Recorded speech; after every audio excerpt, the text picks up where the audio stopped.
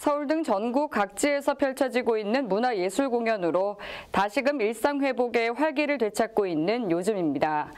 이를 통해 예술인과 시민 모두가 코로나 후유증을 덜고 지친 몸과 마음을 달래는 시간이 되고 있는데요.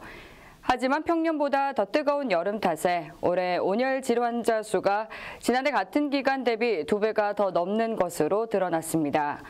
무더운 여름을 더 힘들게 보낼 취약계층에 대한 관심이 필요하겠습니다. 이상 복지TV 뉴스를 마칩니다. 시청해주신 여러분 고맙습니다.